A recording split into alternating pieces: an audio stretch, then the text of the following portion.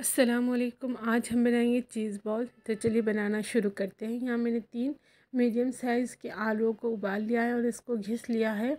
इसमें एक बड़ा चम्मच लाल मिर्च कुटी हुई, दो चम्मच जो सैशे होते हैं ऑरिगेनो के वो, या आप एक चम्मच भी ले सकते हैं ऑरिगेनो, और काली मिर्च, आधा चम्मच,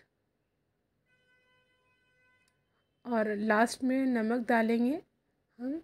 और इन सबको अच्छे से मिक्स कर लेंगे।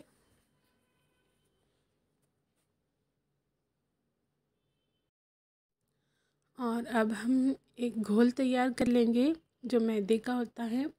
यहाँ आधा कप मैदे में मैंने थोड़ा थोड़ा पानी डाल दिया है और इसको अच्छे से मिक्स कर लेंगे ताकि कोई लम्स ना रहे। और थोड़ा सा गाढ़ा घोल बनाना है हमको इसका।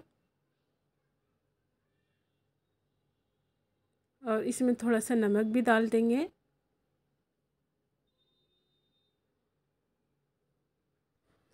और जो आलू बनाए थे हमने, उसमें भी थोड़ा सा नमक डाल देंगे। और घोल भी हमारा रेडी है। इसको अच्छा ज़्यादा पतला भी नहीं बनाना है हमको और ज़्यादा गाढ़ा भी नहीं। इतना कि ये बस डिप हो जाए।